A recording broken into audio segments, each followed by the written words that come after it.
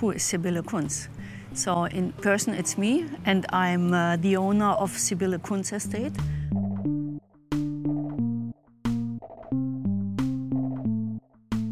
I started uh, the wine estate Sybille Kuntz in uh, 1984 and then later I decided after the studies to take over the very small tiny wine estate from my parents. At this time it was 1.5 hectares. This was in 1990 when I decided to go full time in the wine estate. So it was not certified at this time, but I wanted to start uh, organic from the beginning. We started in 19, no, in 2010 to get certified organic because uh, a lot of sommeliers worldwide ask us, so are you, uh, you are working organic? And we said yes, but, but they always ask for the stamp on the back label, so they need the, the proof that it's really true. We knew then that we can manage to, to work organic on the steep slopes in the vineyard because this is not easy to, to mow everything with the hand. And then we, we should go to the next step, and this was to go Demeter. And because this is for me the highest um, level on working bio or organic. How would you describe your philosophy and style of winemaking? So for me, it's very pure and uh, direct. We don't use any additives. So it's uh, fermented with indigenous yeast. So uh, everything it's doing by nature. And um, the most work is in the vineyard and during the whole year from the pruning, tying, etc. And when we harvest, our quality is 90% in the cellar, in the tank. So we have not much to do in the cellar, so the most work is outside.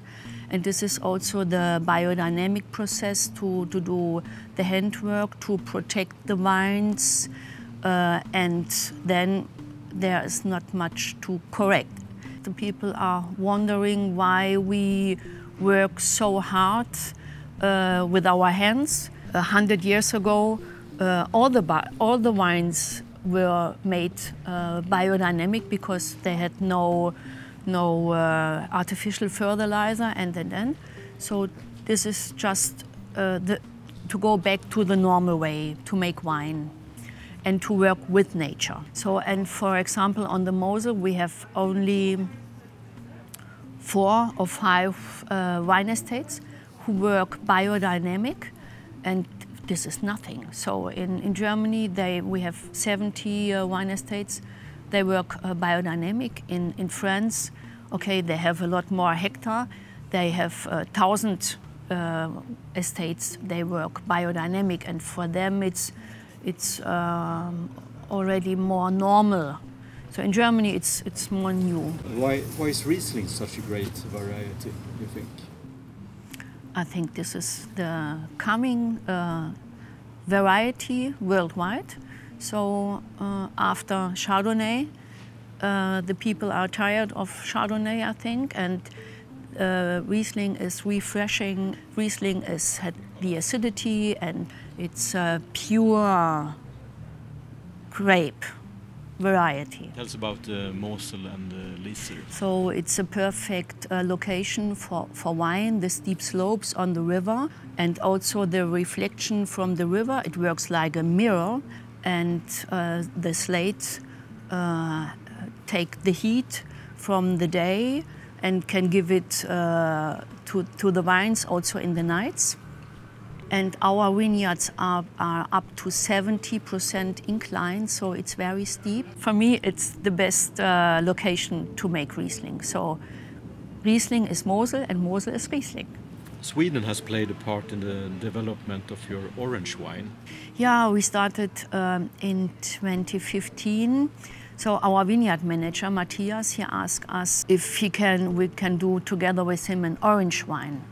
And we said, yes, we can do it, but we had, we had tasted so, so, so strange orange, orange wines, but okay, why not? We, we do it together and we learn you you learn, and so we do it together. Then at the beginning we had uh, only one barrique uh, of orange wines, and then uh, Tommy Lind, our uh, importer at this time, uh, came and visited us, and we told him we have done, uh, we try now an orange first barrel, and he said, "Ah, orange in in Sweden, it's hip," and then um, he asked asked if he can take three bottles of barrel samples. We say yes, why not? And one week he called us and he said, I take the whole barrel. Since this time, we had double or tripled the production every year. So it's now it's not in Sweden, it's in Norway, in Finland, in Switzerland, America, uh, Atlanta, everywhere they want to, to have it. So it's, it's a full success. So this is the orange Riesling.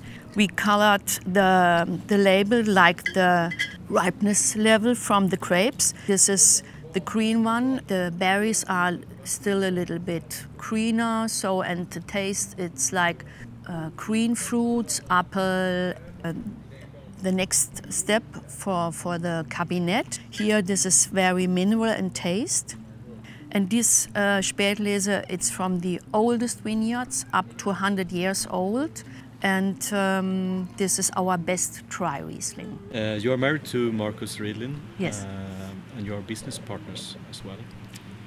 Who does what in your business? He uh, went to America after his uh, studies uh, enology in Geisenheim. And he, uh, when he came back eight years later, and he, he had the same uh, new or uh, clean thinking about winemaking and um, uh, yeah we had the same level on on how to do it how to work together and we had no problems. So it was not a fight I like the wine in this way and this way. So we we we worked super together. Who's the boss now um, sometimes he, sometimes me. A little bit often me, I think. 2015. So this is this is the organic